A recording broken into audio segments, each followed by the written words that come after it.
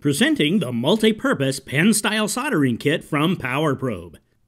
It has an electronic igniter and heats up quickly, reaching optimum soldering temperature in seconds.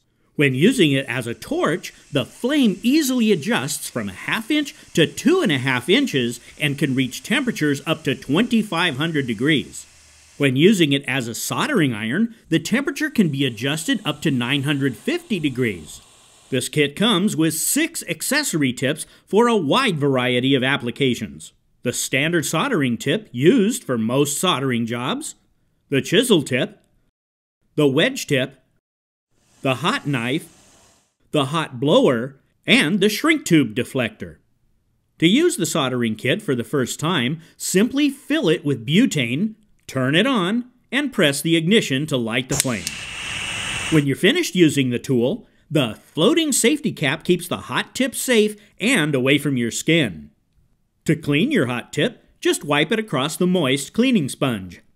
Quickly change the tips by using the 7mm and 8mm wrenches supplied in the kit.